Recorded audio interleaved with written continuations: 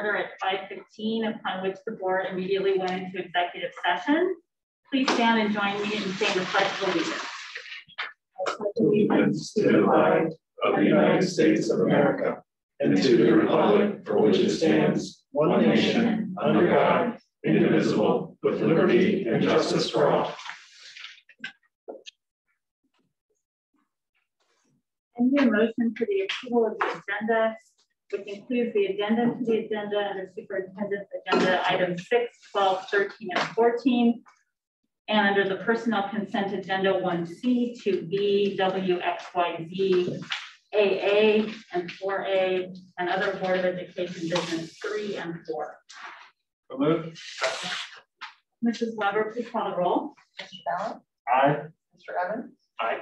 Mr. Comer? Aye. Mr. Mercurio? Aye. And Mrs. Weiss? Aye. I need a motion for the approval of the minutes. So moved. Second. Any comments or questions, corrections? All right. Mrs. Weber, please call the roll. Mr. Mercurio? Aye. Mr. Ballard? Aye. Mr. Evans? Aye. Mrs. Weiss? Aye. And Mr. Comer? Aye. Uh, all right, virtual meeting protocol, Mrs. Weber. Thank you everyone for joining us this evening. Um, we are um, in a virtual setting this evening as we have been for uh, the last year or so. Um, welcome all of you who are joining us this evening virtually. One of the things we have posted, um, and we had this up prior to the meeting, is the area within the Board of Education website where you can access the agenda for this meeting. Um, and once minutes are approved from past meetings, those are posted on that same page. Um, we have asked that those who would like to participate in public participation send their request to today's moderator, Chad Lewis. His email is shown on the screen, lewisc at sycamoreschools.org. Um, public participation is going to uh, occur in about five or so minutes. So um, after we have a few other presentations, so we ask that you get th those requests to us soon. Um, if those requests refer to an item that is on the board's agenda this evening, we'll hold your request until we get to that item and we'll ask you to participate at that time once the board has had their discussion. So um, I think that is it. Uh, when we get to that point, Mr. Lewis, we will find out if you have any public participation requests. I did not have any prior to the meeting as per the instructions that we have on the website, but we still have an opportunity for those who might be out there to provide um, a, a request to participate. Thank you so much. All right, thank you, Mrs. Weber. All right, um, this evening we have some representatives from our Sycamore classified staff that would like a moment with the board. So I'd like to welcome Becky Taylor and Diane Friel. Hi, my name is Diane Friel and I'm the current OAPSE president. Dear valued board members, it is with our deepest gratitude that we are reaching out to you today to express our appreciation for your most recent generosity. We can't thank you enough for the stipend that you're going to provide to us and to the entire staff, especially the classified employees this coming August. It was a very busy year for the classified staff who spent a lot of extra hours making sure students had meals, computers, virtual books and supplies, daily communications, and especially those who worked tirelessly to get our buses and buildings ready to open during a most challenging time. The classified staff were ready to start the school and greet each student with a happy face. The reality that our schools could possibly close and go completely virtual was a very scary thought. We knew our jobs were on the line and we were willing to face the challenges ahead to make sure schools would open safely for the benefit of our students. We, the most recent OAPSE presidents, can't remember one time all year long where the classified staff didn't step up to the plate. Every time a call or an email went out asking for help and assistance, they were there. They never left a situation shorthanded. The frontline employees made a tremendous impact on the school's opening and they exceeded our expectations. We couldn't be more proud of their efforts. Thanks again for your generosity. Sincerely, with gratitude. the entire classified staff. staff. Thank you. I'm not to get emotional.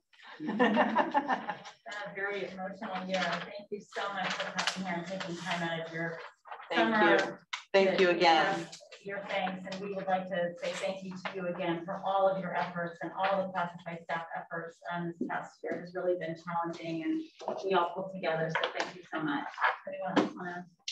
Yeah, I would certainly like to echo um, Mrs. Weiss's comments, you know, as we looked over the course of this year, other school districts across the nation just struggling to, you know, figure out how to stay remote versus actually being in school and being engaged. Um, you know, the classified staff was there from day one when we were in August and figuring out what is it gonna take to, you know, change all the protocols within the buildings. And then as you mentioned, for the rest of the year, just executing, executing, executing. So I think it was just a testament to the, you know, the fortitude and the culture and the type of people that are underneath your organizations just to do that. Really exemplary and different from what we saw in a number of other, you know, uh, great other school districts across the nation. I mean, you guys are really leading examples, so thank you very much. Thank you for saying that. Yeah, I would just like to add my thank you to the entire organization as well. Truly a team effort from top to bottom. We couldn't have done it without you and your team members. You played vital roles in every aspect of our students' education. Um, and just the fact that you showed up for work every day um, and continue to work with us as a team to really get us all the way through the school year. It was a remarkable feat. Um, you know, it's something that I think our entire community is proud of. The fact that you know, we were able to keep our schools open, and, and that is in part thanks to all of the of your staff. So um, thank you, and I wish all of your staff a fantastic summer. Thank you. Thank you. Yeah, and I'll add, once the decision was made to come back to school, we didn't hear any negative comments from the classified staff. You guys were all there unanimously ready to serve our kids. You are the backbone of what it is to have a school district. If our kids can't get to school, there's no school. So um, I know you're the primary contacts for many parents in the district, the, the, the people that you, we, we, as parents that we engage with. So um, thanks for keeping our kids safe through this and thanks for coming to work. Really We appreciate were it. happy to do so. So, And have a great summer. Thank you. You know, we, we, I just want to pile on the thank yous, but the, the, the, the theme I would have is every single person is valued, right? Every single person. We're all on the home team here at Sycamore. And I really think it's important that when, you know, when you, character is revealed during adversity. And I think um, couldn't be prouder of the entire organization at Sycamore for pulling together and delivering this year. So thank you very much. I will add that while we are here to convey our thank you and gratitude from the classified staff, because that's who we represent. We do know that the decisions from the board, the administration, the teachers' willingness to come to work, and everyone else involved is, is a huge step in making sure that our school district open, because we just feel like, you know, kids get that better education face to face. They needed that um, social skills and all the pieces that go with it. And we were happy, happy to come to work every day and provide that service from our side. So we know that the decisions weren't always tough on your end. And, you know, there was a lot of flack at the beginning and a lot of changes, but we were happy to be here. Absolutely. So thank you for all your efforts and all the, the craziness that you all went through to keep our year going. So Thank you. thank you for protecting us because, you know, your, your work, Becky, I know you, you had to keep things clean, you had to keep things organized, you had to do extra efforts, the bus drivers on buses, you know, working with kids, serving food and being directly connected to kids, working with our most needy students, and those students depend on those educational assistants, the clerical staff, you know, missing their kids and not being able to be connected to kids. It's just, you know, I, I think about what it was like last summer and what it's like this summer. I'm so thankful that we got through it together. We're better together. Um, Absolutely. and just so thankful that, you know, it's nice to be able to hug you all again and uh, hug, hug some of the people at the compounds and in the, the buildings, but it, it will be great to see everyone at the start of next school year and hopefully be able to, you know, be closer and be connected. And that's, that's one of the things that I know we all missed about the early part of this year. So looking forward to reconnecting with you all, but excited for you to get away this summer and get some rest.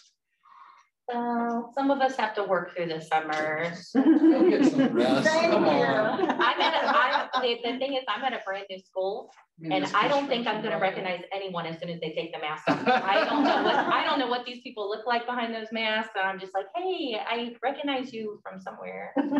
But we'll get there. Can't wait for them to come off. Becky, Diane, I think you readily know what I, how I feel about both of you and everything you've done and the people you represent. Hidden heroes, unsung heroes, a Jackson adjective to what you guys did. So from the bottom of my heart, thank you to you and everybody else that got this done this year. I'm very grateful. Thanks, Frank. Thank you so much. And you're welcome to stay for our entire board meeting if you'd like to leave and enjoy the sunshine. I think we're gonna head on out. We'll leave you to it. This is where you all excel.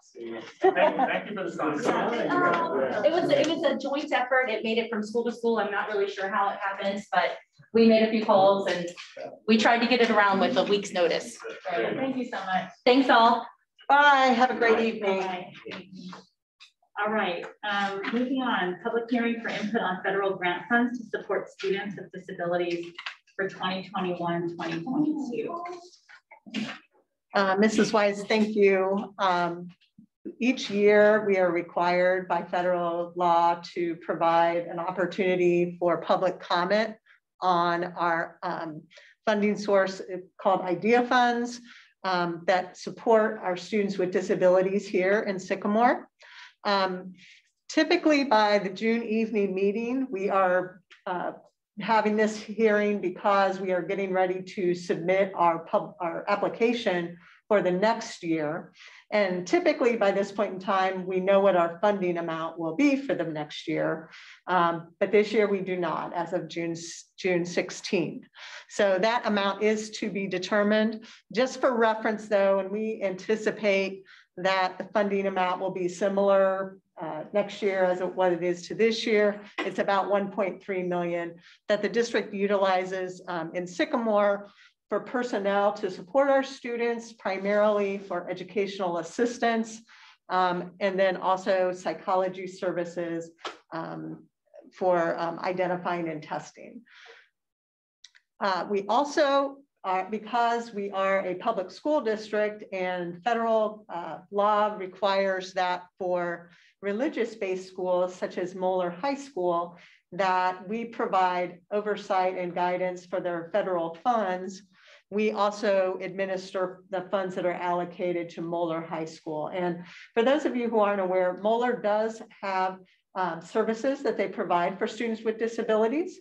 Um, and in fact, they they have approximate they will get approximately of that 1.3 million, just about 200,000 of that because of their student population. I think they are uh, currently serving around 80 80 students with disabilities at Moeller High School. So we work with them very closely in, in determining how those services will be purchased and provided.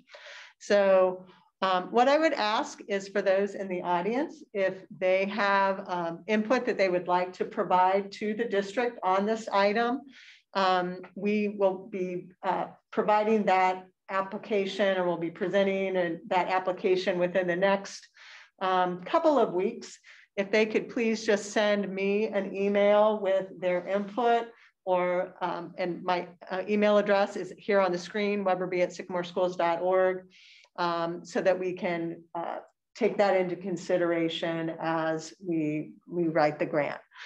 Um, all indications at this point in time is that we would continue to utilize those funds in the same way that we have in past years, which is to, to provide those personnel supports, which have been really effective for helping our kids um, be able to access um, free and appropriate education, which is what the, these federal grants are about.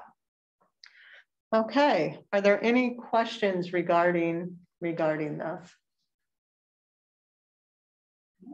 Okay. Mr. Lewis, do we have any um, public participation at this point? No. No. Okay. All right, moving on to the superintendent's agenda. Mr. Forsthoefel. Yes, uh, the first item is the Healthy Aves update. I'm assuming that's what you're referencing. Yes. Okay, I will turn this over to Mr. Lewis. And I think superintendent? Mrs. Weber is about to give the update today. so Okay. It, uh, Bounce it around. yeah, All good team effort. Um, speaking of when ODE has requirements, um, one of the requirements that um, the Ohio Department of Education through their federal guidelines that they have, and, and we've discussed a little bit about um, a new grant called ESSER American Rescue Plan Funds. And for Sycamore, we are scheduled to receive about um, $3 million to utilize to support um, continuity of services and return to in-service or in-person instruction for the district, which actually, um, this is one of those times when ODE has, the Ohio Department of Education has um, sent down an edict, which it was like, this is perhaps the most easy um, response we have ever had because we're doing the things that they've asked. We did them last year. Um, we are looking to be able to provide um, those things next year as well. So um, one of the requirements of this um, grant is that you provide information on your website. Um, and we have been doing this all year about uh, the continuity of services that we are providing to our students. So what I just wanted to do is introduce and make sure that you are aware that we have uh, met this requirement by posting um, our Healthy Aves plan, um, our Learning Recovery and Extended Learning Plan, which is a, a recommendation by Ohio Governor DeWine uh, to be able to show what we are going to be doing to provide uh, services for our students next year and return to, to edu uh, educating both um, uh, in school and filling education gaps. Those are all addressed. And then this also provides a way that we are going to continue to update our community, our parents and our community about next year. Uh, Mr. Lewis, Mr. Forsthoefel have said on a couple different occasions that there's still a lot that we have not determined for next year. Um, we are still going to be looking at some of the data to around um, uh, health data, looking at some of our healthy protocols. So those decisions aren't going to be made tonight.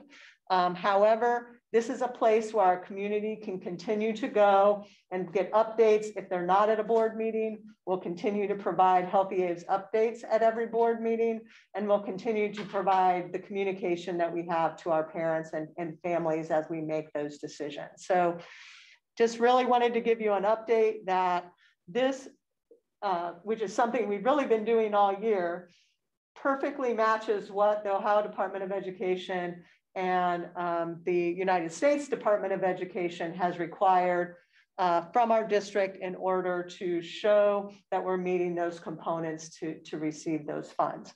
So just wanted to give you an update that we are meeting the requirements. And for those of you who are out in the audience this evening, that this is one of those one of those places that you can go to continue to get information as those decisions are made.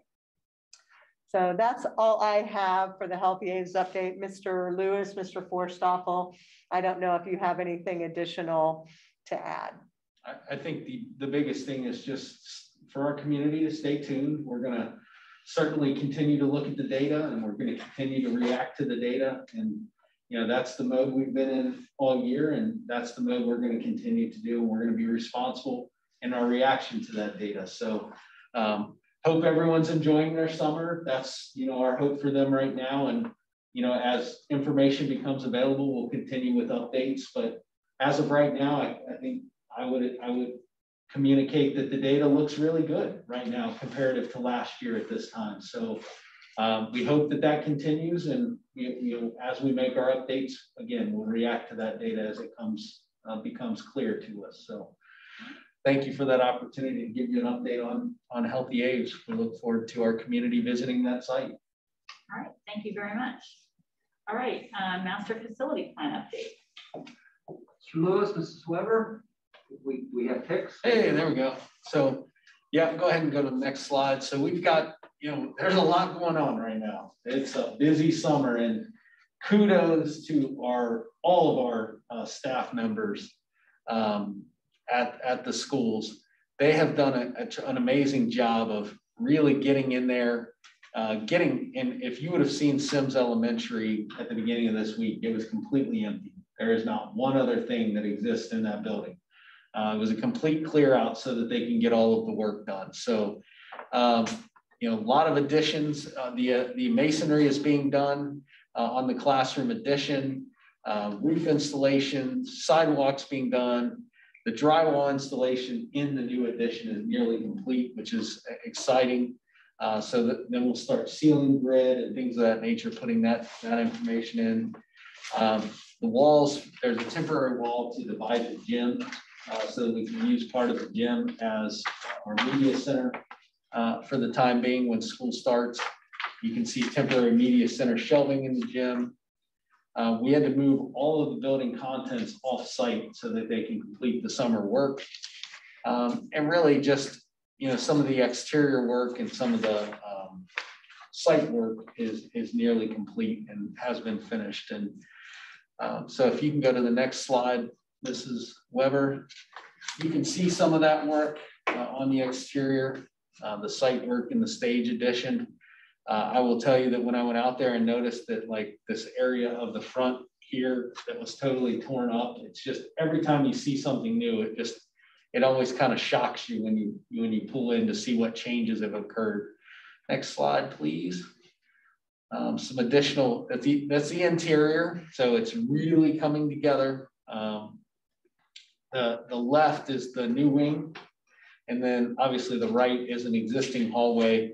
And you can see, you know, they're in the ceilings, they're tearing things out. And that was a big part of what they have to do is they want to get all the above ceiling stuff finished this summer. So that's why the school had to be completely empty. Doesn't mean every wing is going to be finished. Um, you know, you'll see later in the agenda, one of the change orders that we're approving is an acceleration uh, item. We accelerated one of the wings so that we could be accommodating to our student needs and not have to talk about redistricting or moving students to another building for the year. And we, we felt like that would be a positive for our families to accelerate the movement and pay a little additional money instead of moving students and then moving them back the following year. So next slide, please. And then just some other strange photos and things that are going on uh, at, at uh, Symmes Elementary School. So again, a lot of work being done. I'll just say, I always continue to say on budget and on schedule. We never say we're ahead of schedule. That's, that's terrible when you're talking about construction projects. So next slide, we should be at uh, an aerial photo so you can see the just the change every, again, every time that you look at it, there's just more and more complete. So you know, we are on schedule for the new wing to open at the beginning of the school year uh, for next school year. I will tell you that there'll be a lot of stress at Symmes Elementary because we will be working probably every day up until staff return and maybe even through staff return.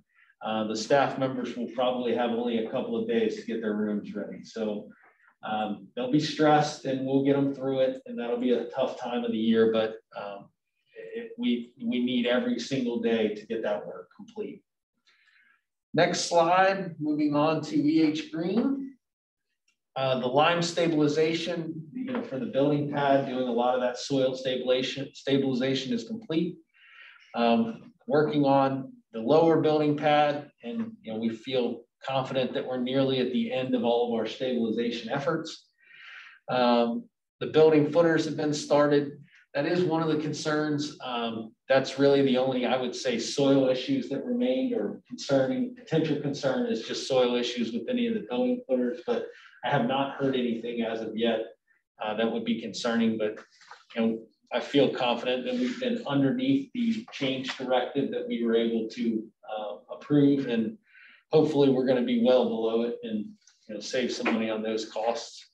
Sanitary lines, storm, underground pipe, uh, parking areas and you know shoring up that information and then uh, you'll see in a minute there's a shoring of a wall uh, that needed to occur um, on the next slide or on a future slide. So some of the exterior you'll see uh, you can go ahead Mrs. Weber.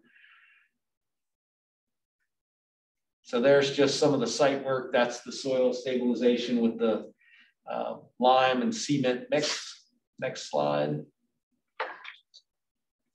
It's nice to see starting to see some walls go up. That's always an exciting thing when they're starting to come out of the ground. Next slide. And then the aerial photos just to see how it's taking shape on the back end of the property. And you know, you'll notice that it was a shock to me. Um, I'm sure it was a shock to Mr. Forstoff he looked out his window and there's big backhoes in his backyard back here in the back of our building. Some of the, you know, water runoff and, and drainage had to come back through and connect to the district office. So they dug up a lot of things along the side of the building here. So, you know, we, we responded to the questions from our community members around our facility and, you know, kept them up to date. Next slide. Sycamore Junior High, again, lots of similar things. I won't go over the same things, but lots of similar things at Greene. They're in the same mode. Um, so we'll skip to the next slide and you can see uh, again, looks kind of similar. A lot of soil work, a lot of things, but you know, again, they're starting to come out of the ground. I went to the meeting last week and saw that walls are starting to go up. And again, exciting time to see when the foundation walls start. Next slide, please. Just another view of that foundation work. Next slide, and then the aerial photos. So it's eventually, within about two weeks, it'll feel like there's almost a, shell of a building there. It'll be quick. Next slide. The high school. Lots of demolition. I was there this morning walking around. Lots of demo, lots of clearing out. Um, the commons, if you've not been there, if you've not seen some of the pictures on social media, it is chock full of just teacher stuff and materials uh, to try to save on some of the storage costs. Uh, framing, rough ends, drywall installation. I was, uh, again, I never say ahead of schedule, but one of the areas that we started towards the end of the school year, um, the high school team was able to clear it out a little early. They're nearly complete uh, with the installation of those classrooms. Um, in the back, towards the back of the building, it'll be math classrooms. It used to be, I think, global language, but you know, just seeing the bathrooms torn down completely to nothing and built back up. The brick walls are, all, uh, the cinder block walls are already there and the rough ends are already there. So I will say, I know this is a stupid thing to be excited about, but knowing that the bathrooms were the original bathrooms, I'm excited for our high school students to have new bathrooms. And I know that's silly, but it is important to high school students. Uh, next slide. So you can see some of those uh, blocks, block walls and the plumbing installs. Next slide. There's the commons, all the storage. So, you know, kudos to the high school custodial staff and uh, our movers. Uh, we worked with Planes moving and storage, did a phenomenal job. They were in there. They did all that in about a two day span. Um, Symmes was cleared out in about a two day span. So just amazing coordination between a lot of people. Next slide, please. Oh, that's it. That's not real exciting at the high school other than demo and a little bit of building back up. But any questions, I'd be happy to answer. Great progress. Yeah, pretty exciting to start to see uh, a lot of work being done. A long time planning and a lot of work by the community and a lot of community members to get where we are today. So it's exciting to see the work. Great. From a budget perspective, the dollars are starting to flow out the door. Contractors are getting paid. So that's that's exciting. It means a lot of things are getting done. Thank you. All right, um, moving on, I need a motion for the approval of the change order for the 2021 district roofing project. So move. Seconded. Multiple change orders coming your way. And I will Mr. Lewis. You're sure you don't want to handle this? Off, you're not excited about handling change orders? So uh, the first one, change order at the uh, our district roofing projects at the high school this year. It's just a drain allowance, and it's it's roof drains that need to be um, really that water needs to be captured and kind of ushered away from the building so that we don't have water intrusion issues. So that's the. I will say, as I I told uh, Mr. Evans and Mrs. Weiss during our uh, planning uh, typically we capture these in an allowance in the project and it was an oversight in the roofing project that we did not have our normal allowance. So normally you wouldn't saw this, but in order to be compliant, we needed to bring forward a change order to capture this instead of putting it in an allowance. So appreciate your consideration. All right, any questions? Mrs. Weber, please call the roll. Mr. Evans? Aye. Mr. Ballard? Aye. Mr. Mercurio? Aye. Mrs. Weiss? Aye. Mr. Comerford? Aye. Motion passes. I need a motion for the change order for EH Greene Intermediate Construction Project. So move. Second. Change order one is self-explanatory. Uh, we had to demo the Aldine House for that construction access. Uh, number two is uh, we had to shore up that shore up that wall uh, that you saw. Uh, the cost, total cost of that uh, was sixty thousand eight hundred six fifty nine. We did have a shoring allowance already built in for twenty-five thousand, so the delta is the change order thirty-five eight hundred six fifty nine. And it was just an unforeseen electric service um, we needed to make sure that the electric, electric service would not be impacted by the wall and the location of the wall and making sure that that depth um, where the service is is protected by um, shoring up this wall. So um, a lot of people worked on that, but you know, getting that to that point. Uh, number three, civil drawing revisions for it's a actually a credit of 4,955 uh, 35. So some of it was just pricing changes due to um, scope changes, grading changes, uh, project changes. One of the major changes and what the biggest part of the credit was, was we removed baseball field fencing. Um, we, we have much more requests for soccer, lacrosse, so we need green space. We made that adjustment. Uh, a baseball field at that location, the level of baseball field they had at that location was pretty significant and we didn't have a need for that at that location. So uh, we removed that fencing and that was a huge uh, savings in that, uh, that, that cost. So that gets us the, the change delta of a reduction of 4,955.35. Uh, we had needed some temporary parking. There was not enough parking once we drew up the construction drive through Aldine House. We lost a lot of our construction, so this was adding construction or um, parking for staffs to make it through construction. Uh, the retaining wall waterproofing, self-explanatory. Uh, we've talked about the soil stabilization in the past, and this is the total of that. So you gave us a change directive that we were authorized to go up to 300,000 for uh, the cost to stabilize one portion of the building pad. This is the cost to stabilize both portions of the building pad.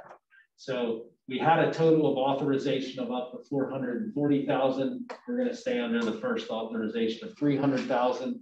As I mentioned in the report, the only thing we're worried about is the building footers and so far so good. So We'll leave that change directive open of 140 for now, not to exceed, just to see if there's any other unforeseen soil conditions or anything like that. But uh, we are also looking into Mr. Mercurio's comments about, you know, do we need to look at any mitigation or any other strategies to kind of keep moisture out and mitigate it early and not have that issue going forward.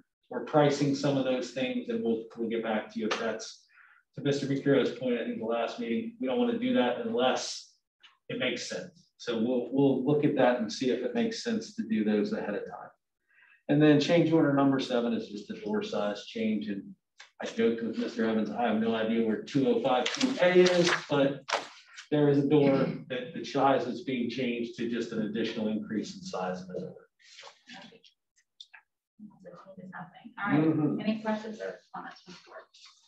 Mrs. Weber, please call the roll. Mr. Ballant? Aye. Mr. Comerford? Aye. Mrs. Weiss? Aye. Mr. Evans? Aye. And Mr. Mercurio? Aye. Motion passes. I need a motion for the approval of the change order for Symmes Elementary School renovation project, GMP number one. So moved. Second. I'm trying not to get confused. There we go. Symmes up. So it's just an undercut for uh, the North Detention Pond, $5,239. It's just soil conditions that need to be mitigated. Okay. Mrs. Weber, please call the roll. Mr. Mercurio? Aye. Mr. Comerford? Aye. Mr. Ballant? Aye. Mr. Evans? Aye. Mrs. Weiss? Aye. Motion passes. I need a motion for the approval of uh, change orders for Symmes Elementary School renovation project GMP number three, and you have updated numbers on the addendum. So moved. Seconded. Who made the motion? David Evans. Mr. Evans. Okay, thank you. List here. Okay, change order number nine, one thousand one hundred twenty-seven dollars is removing an existing louver, um, brick matching. Um, you know, basically, it, it's a, it was an HVAC issue that they're that the engineers decided they needed to address. So a small amount to make sure that that change was addressed. Um, change order number 10, B&J Electric was to accelerate that wing that I talked about, 30,651. Uh, change order 11 is supervision for that acceleration, 45,701. Um, they basically brought an additional person on to uh, supervise the additional work that needed to happen. Um, change order number twelve is just some additional power uh, to be able to put some refrigerators and microwave power and some, we're basically in each of the wings um, to accommodate um, staff and students. Change order number 13, if you've worked in an elementary school, you understand the need for tack strips and hanging up student work. So $2,182. Change order number 14 is just some uh, changes to a couple of areas in the building, $6,454. And then you know, fifteen thousand one eight thirty-eight. Our custodians, they they have to, they had, I'm not sure who designed this, but it's not somebody that works in custodial or in schools. To be able to get things loaded into the custodial area, you need a double door. There was only a single door, so we had to put in a double door. So that's the the gentleman out there, his name's Gordon Shank. I keep holding this door over him, but I guess if you approve this, I can no longer hold it over him. I call it the Gordon door now, so. Any questions or comments from the board? Mrs. Weber, please call the roll. Mr. Evans? Aye. Mr. Vallon? Aye. Mr. Comerford? Aye. Mr. Mercurio? Aye. And Mrs. Weiss? Aye, motion passes. I need a motion for the change order for Sycamore High School renovation project GMP number two. So moved. Second. Very exciting toilet stall renov- re- revisions, so uh, self-explanatory. They just have to make some changes to the toilet stalls. Mrs. Weber, please call the roll. Mr. Mercurio? Mr. Vallon? Aye. Mr. Comerford? Aye. Uh, Mr. Evans? Aye. Mrs. Weiss? Aye, motion passes. I need a motion for the service agreement with Rumpke. So moved. Second. David. always like to talk about trash, right? Trash removal and recycling. So this is just our service agreement. It was up, uh, it needed to be renewed. Um, really, Rumpke is mostly the only game in town. There's some smaller outfits. I've priced them in the past and they've not been competitive. So I got an initial offer from Rumpke. It was not where we wanted it to be.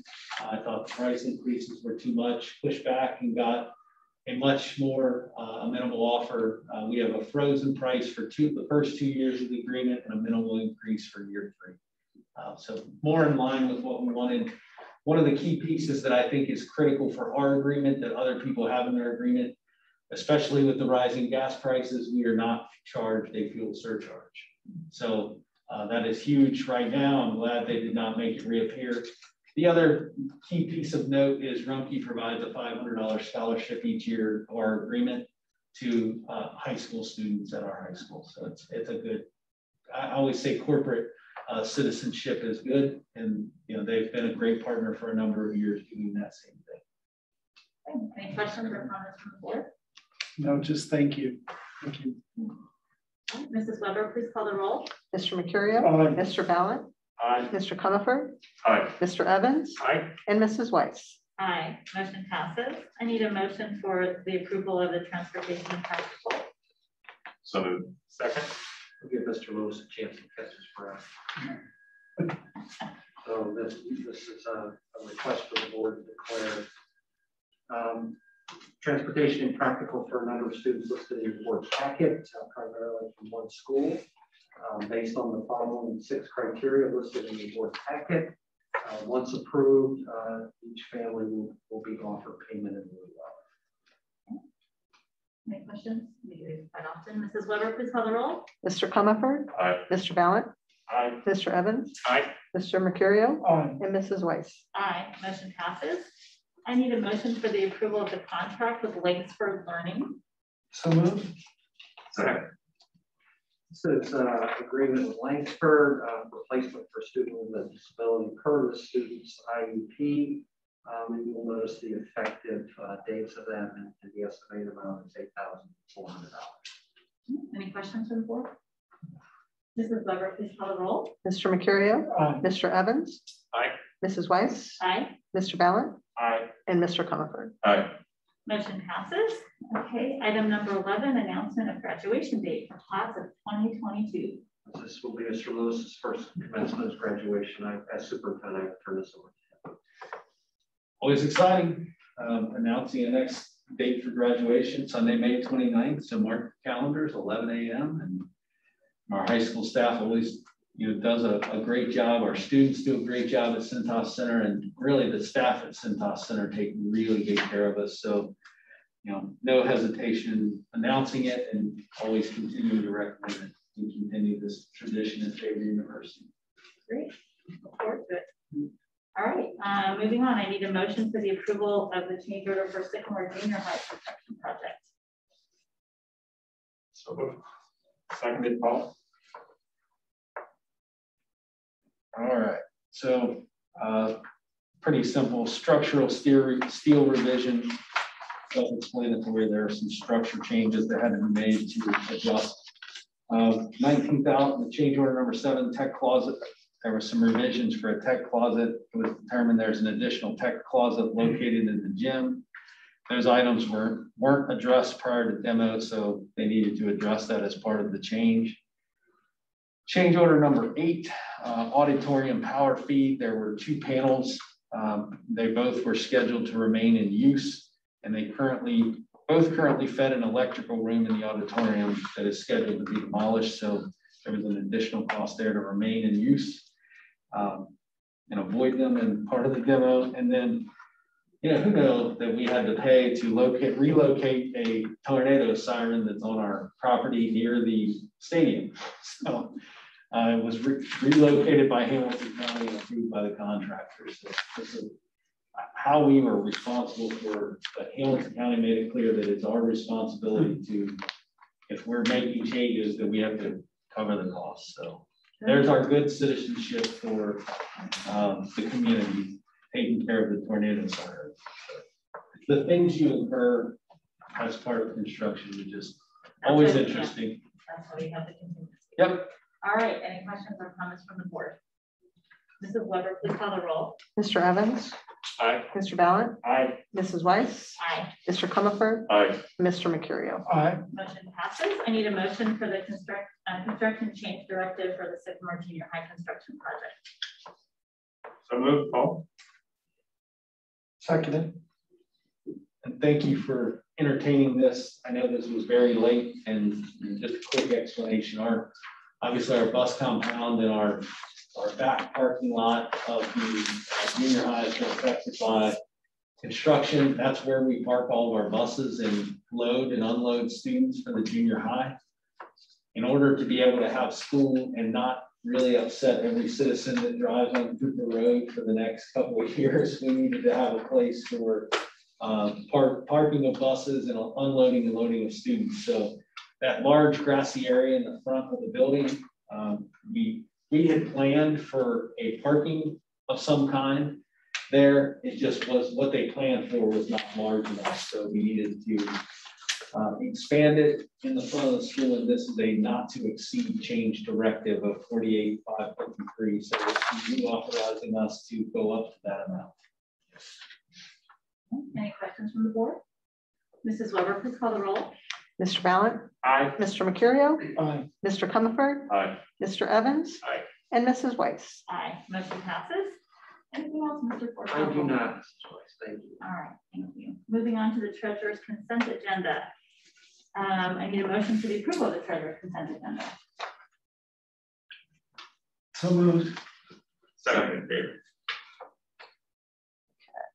Um, you should notice the treasurer's consent agenda is, is really short this evening because the typical budget changes that we have um, we have an overall appropriation um, later on in the agenda. So the, the primary things that we're asking for your approval are the transfers that um, we made from our general fund to pay um, our energy conservation debt, um, our uh, certificates of participation here for the district office, and then um, as also funds that are utilized to cover um, our summer projects for um, including roofing and some paving and things like that for the permanent improvement fund.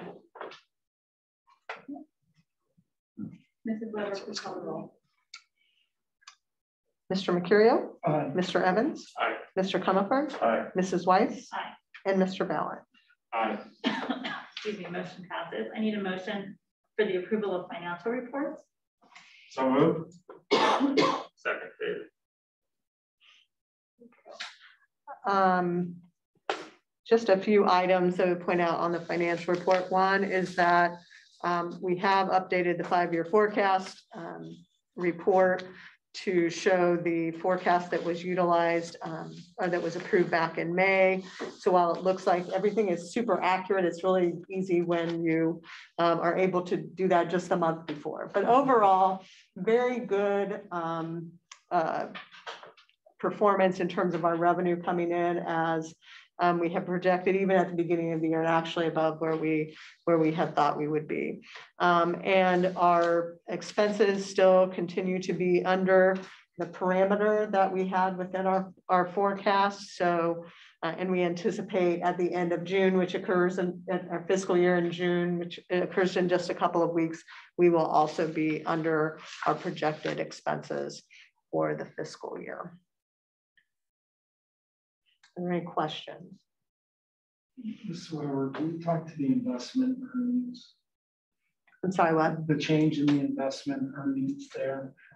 The investment earnings is basically because most of our funds have come in within the last year, it's in our reserves.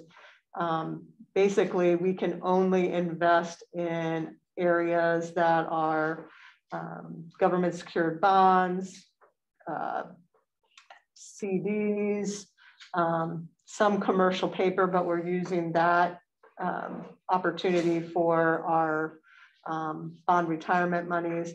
There's just very little return that can be had for any investments that um, we, we can um, invest in right now. Many, some of the investments that we had prior to the pandemic occurring um, were callable. And so often they were, have been called and we're, we just did not have any kind of uh, new reinvestment opportunities that we could capture um, much income from that. So um, it, it's horrible when you look at the funds that we have to see how little opportunity there is for us to um, be able to capture much investment return. Um, so I, I, wish I had better news on that front, but there, there just aren't uh, areas that like investing in the stock market or in equities. That's just something that the school district is not allowed to do. So that's that's my, why you my see question, the I return. understand that. My question was more the year over year number. Right, right. And even a year ago, we felt like we weren't getting very good return. You know? but um, now it looks like it was great. But that's that's basically the reason why there's just not much earnings to be captured. I know um, Mr. Evans also asked if there were any opportunities potentially because of the low borrowing rate for us to look at any of our outstanding debt um, as a potential for uh, refunding or if anything was, any of our debt for the district is callable. Um, we do have one issue that we could look at as a district. It's one of our energy conservation bonds that was issued back in 2010. That if we wanted to either utilize our reserve to call that issue or um, and, and just pay it off, or um, if we wanted to look at refunding it, that would be an option as well.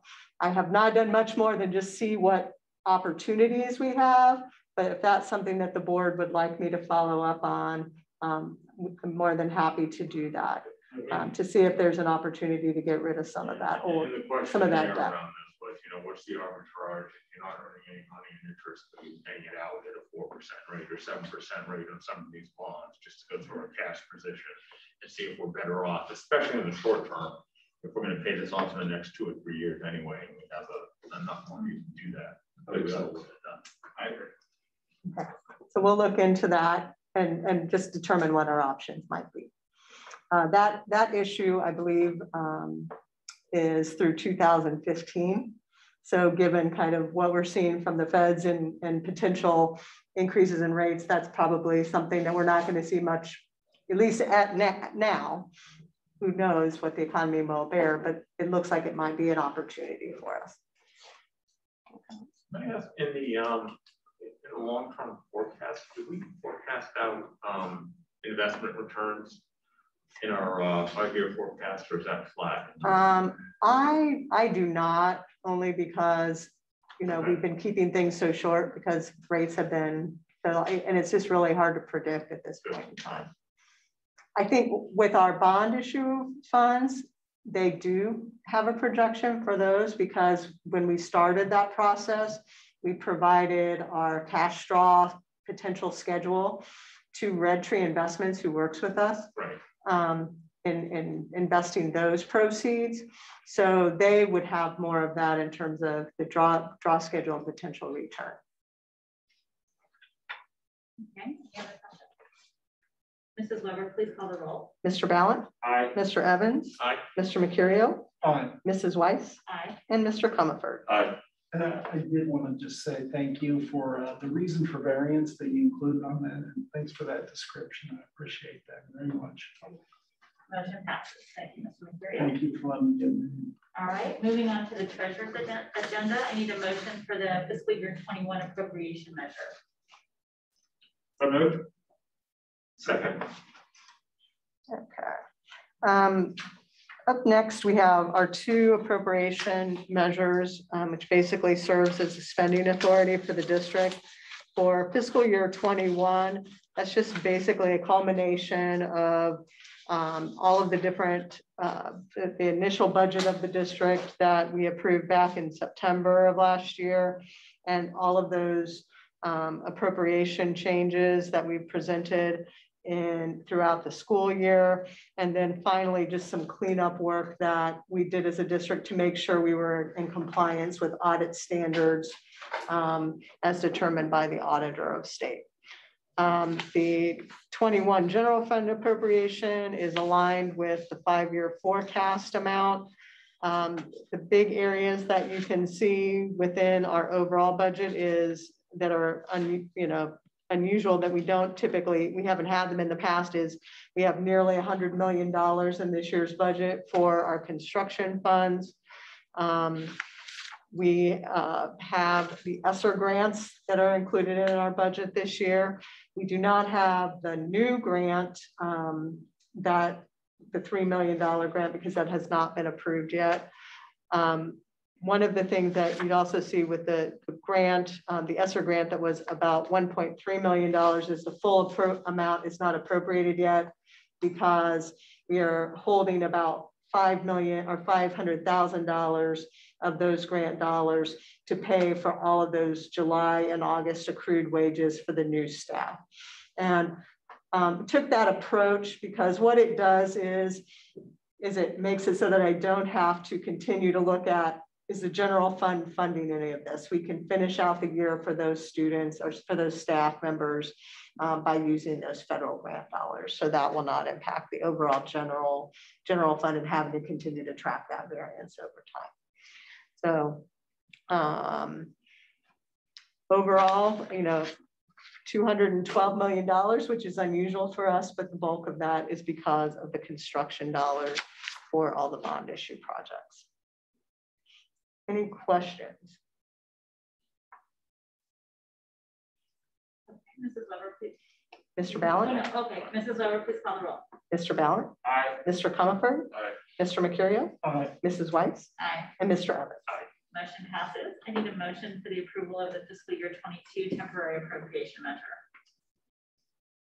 So moved. Second, David. Um, the 22 is uh, appropriation measure is for the 21-22 school year. Um, this is a temporary measure in that we'll bring back a revised appropriation in September, which will include our new federal grant dollars. It'll be the culmination of our staffing finalization for um, that will occur this summer. Um, we will also, at that point in time, have um, additional information on the remaining budget for all of our construction funds, we hope. We are we currently have those funds appropriated in construction for our contingency dollars for the four main projects, the uh, that Symmes, the junior high Greene, and the high school. We'll be looking at finalizing uh, the stadium budget as well as hopefully the transportation uh, budget in this next couple of months so that we can add those dollars as well. Um, the general fund budget aligns with the five-year forecast, um, but we'll be looking at how that might need to be reallocated based on um, our staffing finalization. One thing that, ha that has been helpful for us is that by having both of our association contracts finalized, we were able to show the impact of any kind of uh, wage considerations within the appropriation. Are there any questions? All right, Mrs. Weber, please call the roll. Mr. Mercurio? Aye. Mr. Evans? Aye. Mrs. Weiss? Aye. Mr. Ballant? Aye. And Mr. Comerford? Aye. Motion passes. I need a motion for the agreement uh, with Learn 21. So moved. Second, David. Um, this is a, an agreement that we've had for several years with Learn 21 in that um, we provide fiscal agent services as well as provide staffing for the Learn 21 consortium. Um, we are fully reimbursed for the cost of all personnel that we, we provide, and then we are also provided a uh, fiscal agent fee in, in return for that. So I'd recommend that we continue that relationship with Learn 21 for the next, um, the next fiscal year. Any questions? Mrs. Weber, please call the roll. Mr. Ballin, Aye. Mr. Evans, Aye. Mr. Mercurio, Aye. Mrs. Weiss, Aye. and Mr. Comerford. Aye. Motion passes. I need a motion for the approval for the Ohio School Comp Workers' Compensation Group Retrospective Program. So moved, David. Seconded. This is a continuation of um, a program that we've been working with uh, through the um, comp, comp Management is the name of the company, but it's a, a partnership of Ohio School Boards Association and OASBO, providing a group um, rating program where we combine our workers' comp um, to be able to bring our rates down. And then we are also rewarded for good performance um, if we have lower than anticipated claims. And we have had that for the last several years being within this group. The other thing about being within um, the group, continuing within the group rating uh, process is as the state has provided these dividends and refunds, we are still eligible for that, even though we are within this group rating. So for example, last year we got a million dollars back from workers' comp in, in dividend refunds. So um, this has worked out well for us in terms of providing those savings. We are working with comp management, which Mr. Lewis in his soon to be former position has appreciated working with them in terms of uh, working with us on claims management and helping with our safety programs as well. So I recommend us continuing on with the Ohio Workers' Comp program as explained. Any questions? Mrs. Weber, please call the roll. Mr. Evans? Aye. Mr. Mercurio? Aye. Mrs. Weiss? Aye. Mr. Ballant? Aye. And Mr. Comerford? Aye. Motion passes. I need a motion for the approval of the personnel consent agenda. And this is a reminder, this includes addendum items one C, two D, W, X, Y, Z, AA, and four A. So moved. Seconded. Mrs. Weber, please call the roll. Mr. Ballant? Aye. Mr. Mercurio? Aye. Mr. Comerford? Aye. Mr. Evans? Aye. And Mrs. Weiss? Aye, motion passes. Moving on to other Board of Education business, legislative liaison report. Mr. Mercurio and Mrs. Weber. Yeah, I have um, a couple of hot um, issues with two bills that I would like to bring up. But first, I'm going to turn it over to Mrs. Butler. I think she's going to fill us in on uh, school funding bill. Uh, thank you, Mr. Mercurio. We are continuing to monitor the um, progress of the state budget bill. Um, it has currently been passed out of the Senate um, and has moved into conference committee uh, so that the Senate and the House can reconcile the differences between the two bills. Um, for school funding, these are probably the two most um, diverse versions of the bill that they have ever had. In that one, the House version includes this uh, Fair School Funding Plan, and the Senate has basically taken what is the current plan and have tweaked it with some additional um, funding amounts and with additions of many type um, additional funding for school vouchers. Um, so uh, the conference committee convenes tomorrow um, and we'll try to get that work done to be so that they will have a state budget, we think, by June 30th.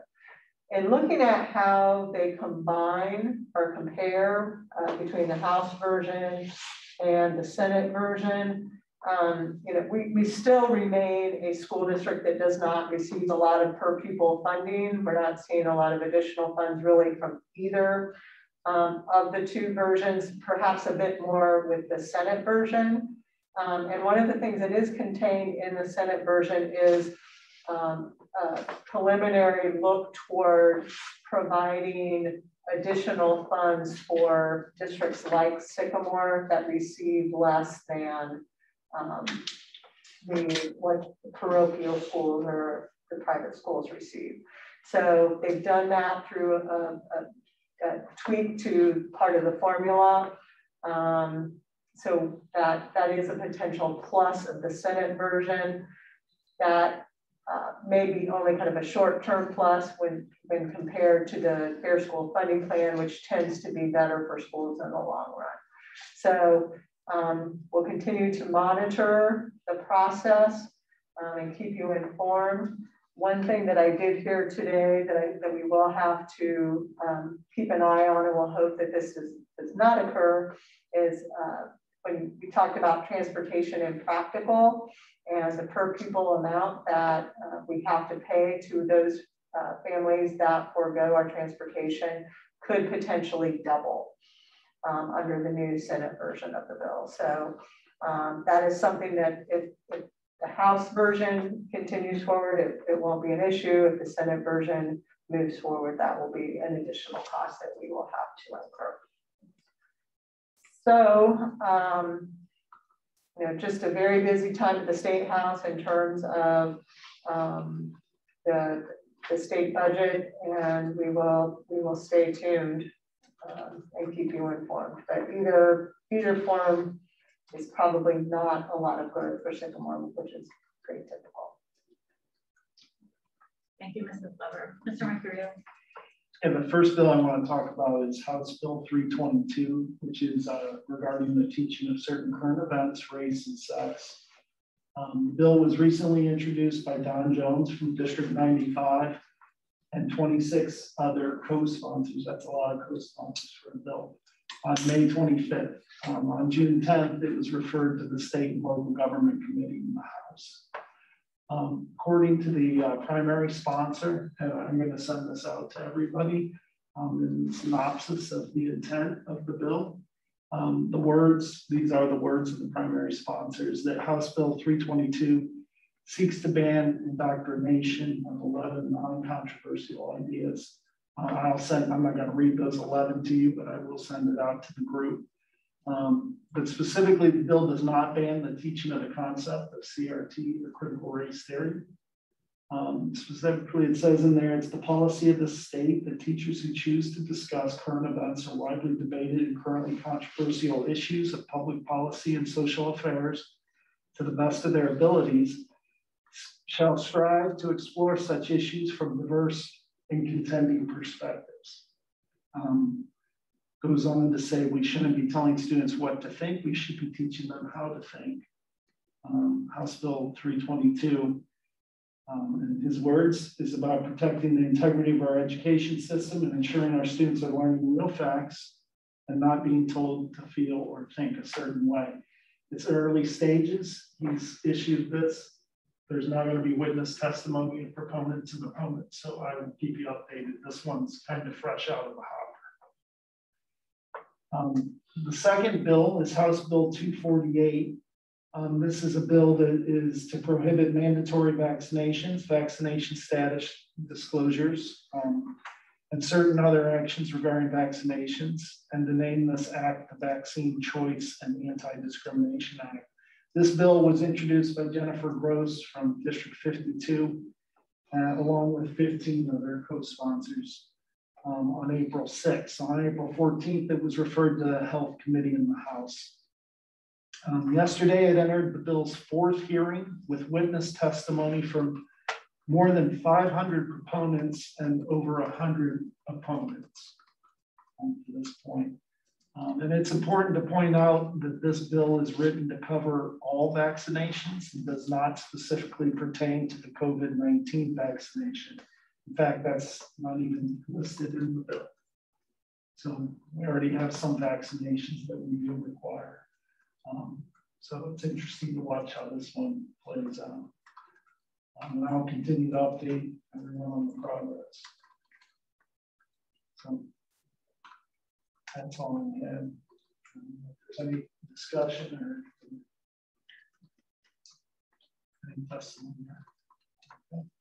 Yeah, the only other thing, and not on either of these two bills, but I'd just add, I know, Mr. Mercurio, you've been tracking the local report card legislation. Yes. There have been a couple um, different bills addressing that. My understanding is that the, the sponsors of the two bills are trying to work together to come to a common local report card bill, which will likely end up in the state budget bill. So um, more to come on that, but um, it does look like after years of the district providing information to legislators, um, a lot of work by the Alliance, which we work with, that there may be some changes upcoming to the local report card. Well, Mr. Mercurio, Mrs. Weber, thank you for the update. I, I do have a follow-up question from last month, the personal finance um, bill or work on that. Is there any update on that topic? I am not sure, but we can follow, we can get more information and follow up with you. I, I think there was some thought that that might end up in the budget bill also, but I'm not sure if that was pulled into the Senate version or not. There was a confidence that it was overwhelmingly supported, so I don't know if it was going to go in or not, but I'll be sure to follow up. I know our SAC uh, committee would be very interested in understanding, so I'd like to relay that back to them.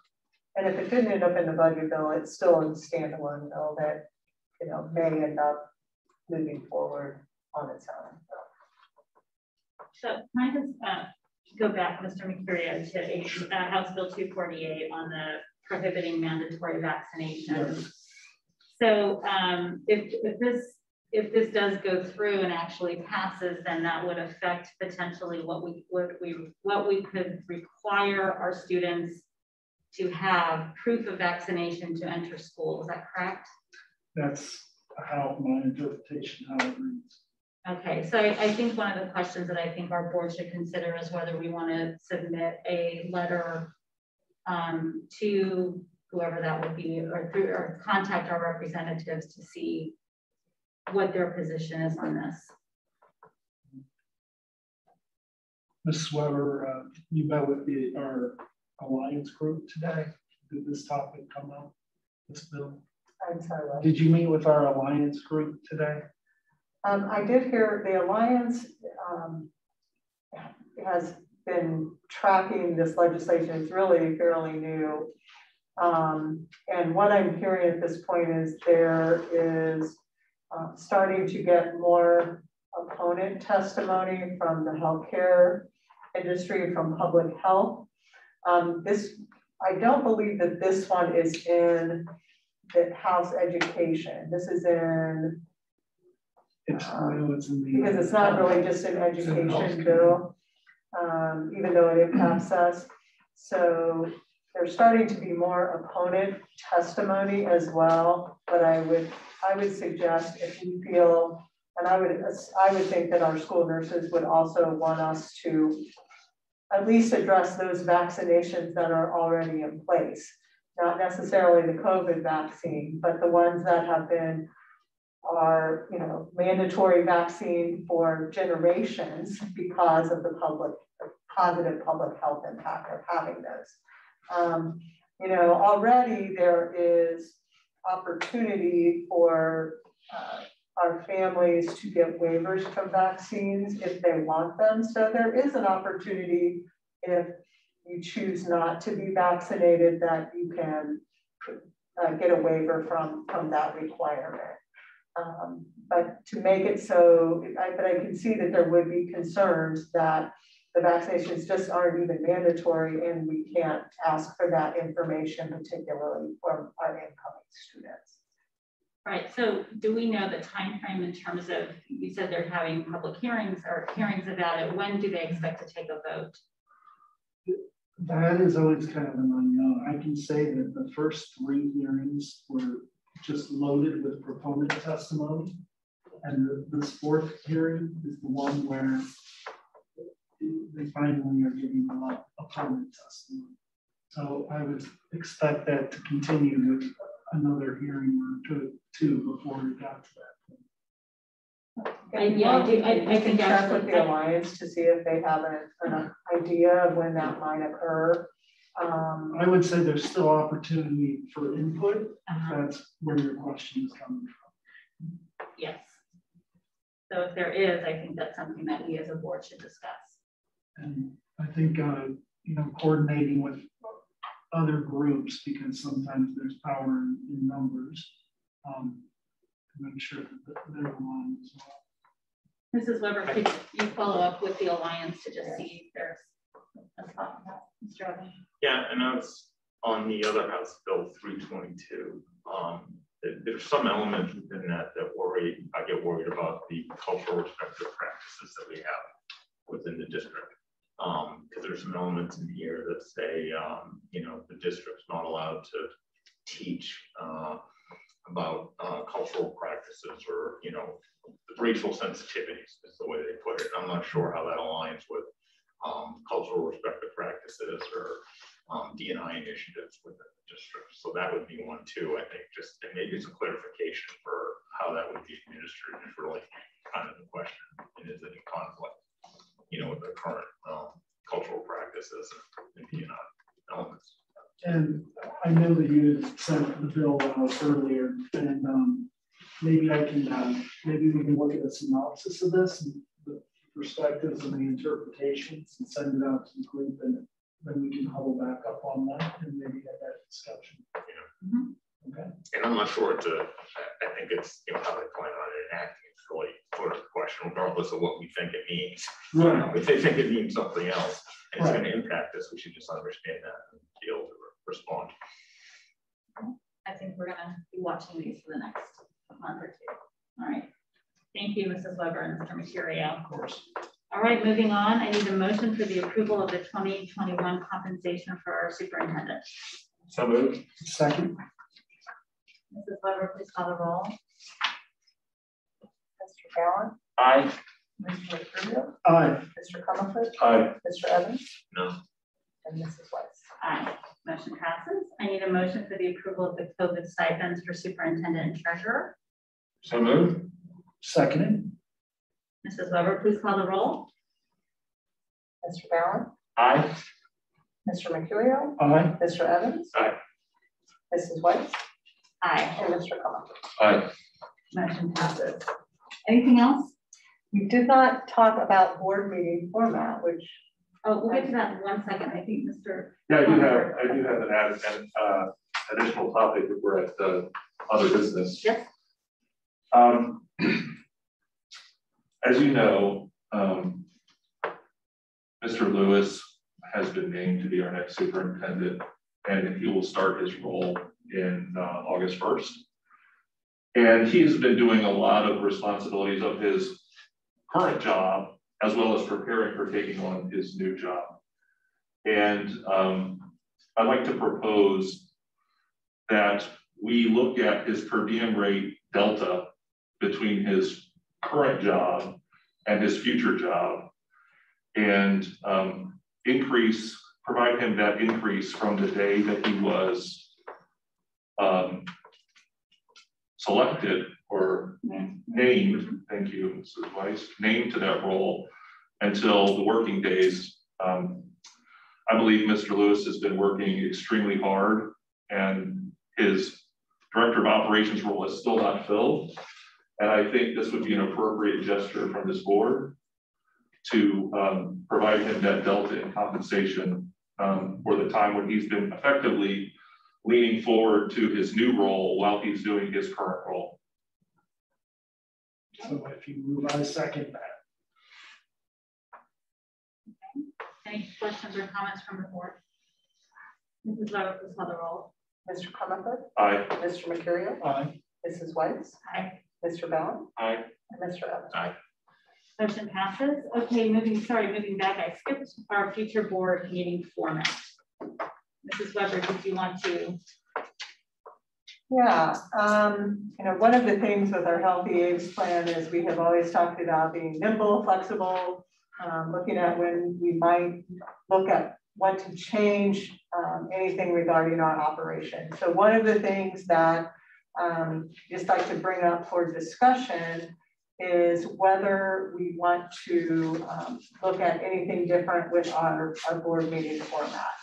And maybe just a little bit of history and a little bit about the legislation would be helpful in, in talking about that. Um, first, the, the law really doesn't address necessarily whether our participants are virtual. What it allowed was our board members to participate virtually. And we have done that, we, we did that a lot in the beginning because we weren't able to convene. But really since I believe it was last June or July, the board, except for special meetings, um, have typically met in person. We've been in the same room. We've had a few instances where maybe one board member participated in a virtual format. But for the most part, the board has been meeting in, in person. What the question is, is whether we are getting to a point while everything else is starting to open up, if we will want to start opening up to our audience and having our audience back participating and our board members in person as well as virtually. Um, the challenge is that if you recall, when we first started to go back to uh, our in-person board meetings, we tried having them at Greene. And we did that because we wanted to make sure we could physically distance so that people could be um, spread out at Greene. Our biggest issue was our technology was just not working very well in that setting. Um, we were having issues with audio, we were having some issues, maybe not so much with video, but just pulling all of that together in that space did not allow for um, a great virtual format. So we were having some issues with that. So to be able to go back to Greene like we had prior to um, the pandemic occurring does provide some challenges in continuing what I think has been one of those great lessons learned from the pandemic um, in being able to have the virtual participation. We've, we've never had better attendance at board meetings than what we do right now or, or opportunity for our community to get engaged. So I would hate to give that up um, by, by moving to Greene. That being said, I've, you know, I've had some discussions with, with Mr. Fritz to see if there might be another option. He um, and I have not yet found a, a better space yet um, to be able to uh, engage in, in different technology or better technology or use the technology that we have. Um, right now, as you can see for this evening, we thought we might have an audience and we do have about 10 chairs set up in this room. We've gone back to kind of a different style of sitting here. So we can probably have some limited audience participation in this room. But I think we, if we're gonna go back to that, we need to have a little bit better space so that for those who want to be in attendance can, can do so.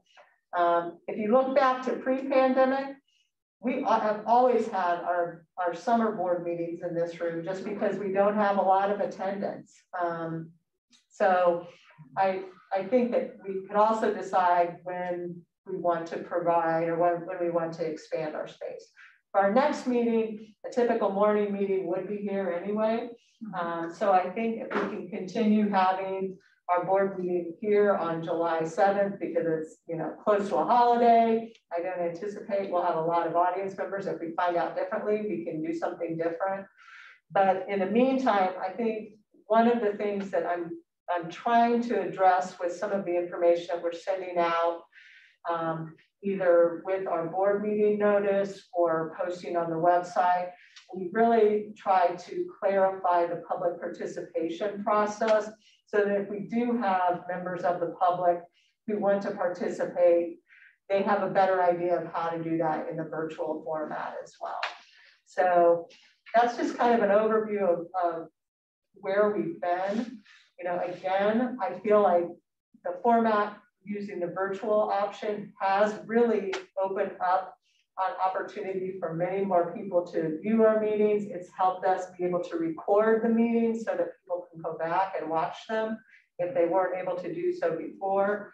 We just have to figure out that component for those people who really would like to participate live in person if, if they want to. Um, we've heard a lot about this, uh, the board or the, the virtual option going away June 30th. That's really not necessarily correct, but what, what that doesn't mean we can't continue to do what we're doing. What it means is uh, starting on July 1, board members will have to be in person. And for the most part, we've been doing that, doing that anyway. One thing that has been nice is some of these very quick special meetings, we've been able to just call a virtual meeting, which has been really nice. That will go away effective July 1. So I guess any thoughts that you may have um, yeah, I, with, I with how we say, might want to move forward. I just say, I, you know, I, you know, I've been on the board for some time and I just really appreciate this past year that there's been a lot of community participation. And I think the virtual format has provided that. Um, anybody that wanted to show in person has opportunity to do that.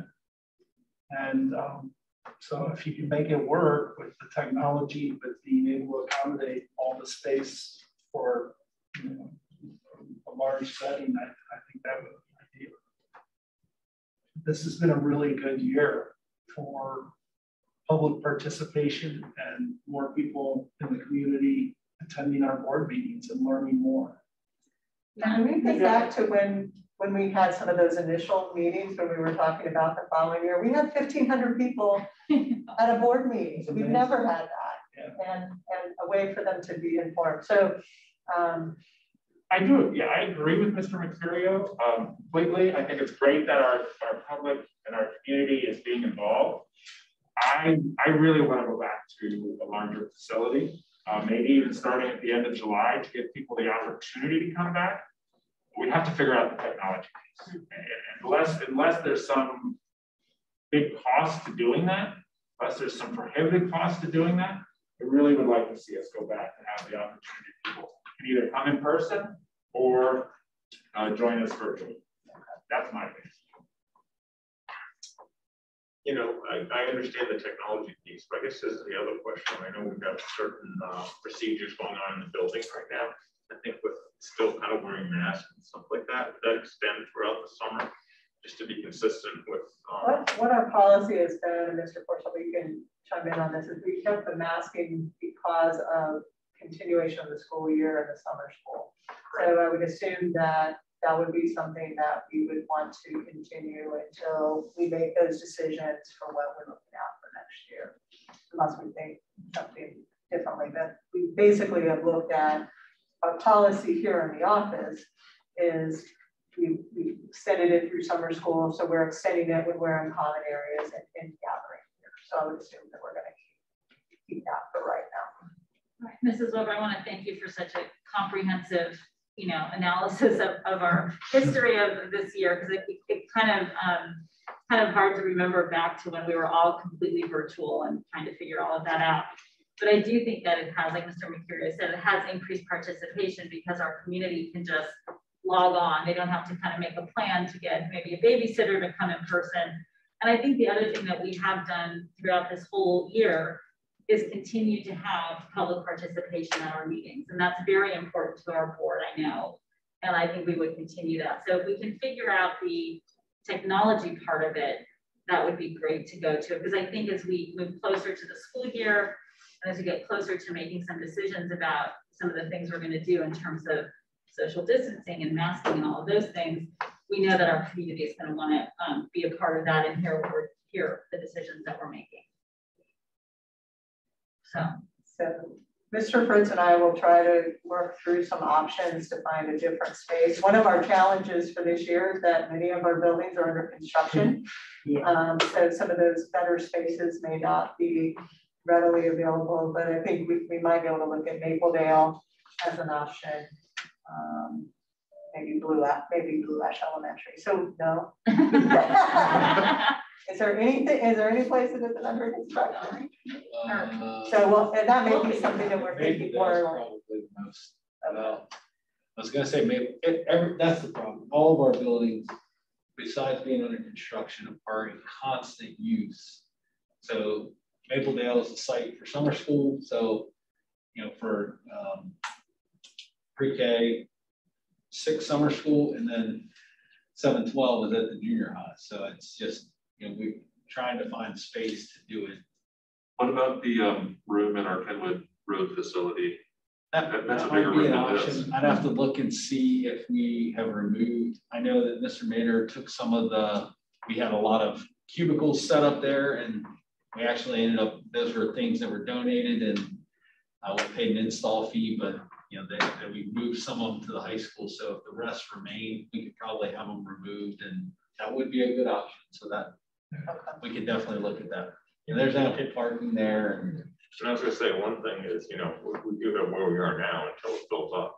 Sure. Yeah. When it fills up, but don't worry about plan B or something.